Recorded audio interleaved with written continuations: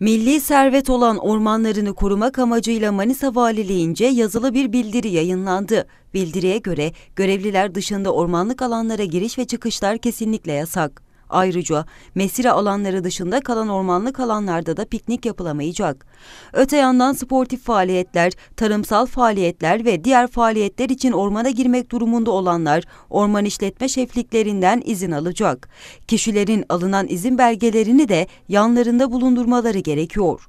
Alınan karar ve önlemlerin uygulanmasına karşı çıkan, zorluk gösteren, uymayanlar hakkında 6831 sayılı Orman Kanunu'nun ilgili maddeleri, 5442 sayılı İl İdaresi Kanunu'nun 66. maddesi ve 5326 sayılı Kabahatler Kanunu'nun 32. maddesine göre işlem yapılacak.